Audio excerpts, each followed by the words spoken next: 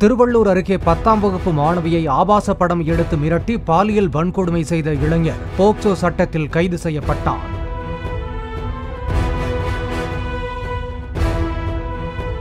காக்கலூர் மாரத்தி new town பகுதியில் உடற்பயிற்சி கூடம் வைத்துள்ள அரவிந்தன் அதே பகுதியைச் சேர்ந்த பத்தாம் வகுப்பு மாணவியை காதலித்து வந்த நிலையில் இருவரும் நெருக்கமாக இருக்கும்போது அதனை தனது செல்போனில் மறைமுகமாக வீடியோ எடுத்து வைத்துள்ளான்.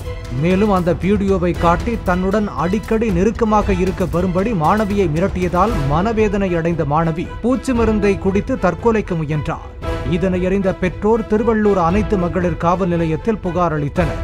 புகாரின் பேரில் வழக்கு பதிவு செய்த போலீசார் அரவிந்தனை போக்சோ சட்டத்தில் கைது செய்தனர்.